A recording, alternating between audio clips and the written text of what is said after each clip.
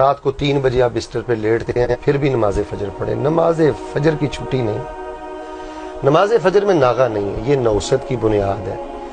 नमाज़ फजर ना पढ़ना सूरज निकलने से पहले पहले ये किसी भी शख्स के खबीस होने की अलामत है। रसूल पाक फरमाते हैं, खबीस आदमी।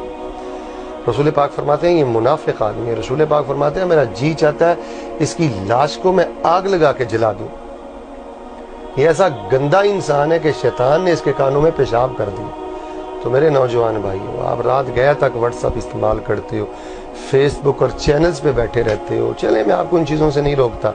लेकिन अल्लाह का वास्ता देकर कहता हूँ, पूरी दुनिया में जहाँ तक मेरा पैगाम जाए, कोई मेरी मुसलमान बेटी, बहन, मेरा भाई मुझे सुने तो मैं उसे हज़ार बार ये कहूँगा कि नमाज़ फजर से प्यार सीखो।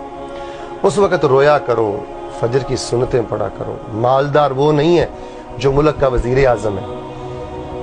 मालदार वो नहीं है जिसका डॉलरों में बैंक बैलेंस है। ऐसा नहीं है। मालदार वो है जो सुबह की नमाज़ से कबल दो सुनते अदा करता है। दुनिया और दुनिया के खजाने भी ऐसे शख्स की अजमत का मुकाबला नहीं कर सकते जो सुबह की दो सुनते फ़र्ज़ से पहले अदा कर लेता है। सलात फजर या इबाद नमाजी भाइयों, नमाज़ फजर से प्यार करो।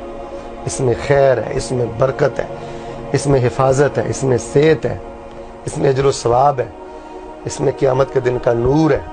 यही आपकी जन्नत है, यही आपकी कामयाबी है। कायनात का बदनसीब इंसान है जो बिला वजह रोज़ाना नमाज़ फजर जमात से नहीं पढ़ता सूर्य निकलने से पहले नहीं पढ़ता। अल्लाह, हम सब की गफलतें दूर कर दे।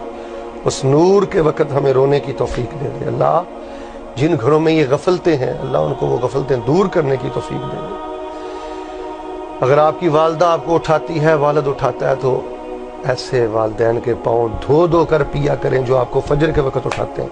उनसे नाराज़ ना हुआ करें, उनकी इंसल्ट ना किया करें, और उनसे बदतमीजी से पेश ना आया करें।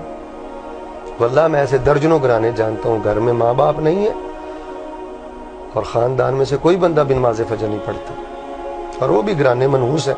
कि जिनके वालदेन फजर की नमाज़ नहीं पढ़ते। तो मैं बड़ी माजरत और मोहब्बत से ये पैगाम पूरी दुनिया में पहुंचाना चाहता हूँ कि जो मेरे मुताला में चीज़ आई है, वो ये है कि फजर का नमाजी किसी न किसी रोज़ अल्लाह उसको किनारे लगा ही देते हैं और अल्लाह उसके लिए खैर के दरवाजे खोल देते हैं। अल्लाह मुझे और आपको नमाज़ फजर की मोहब्बत और नमाज़ फजर की अकीदत और अदायगी नसीब फरमाए।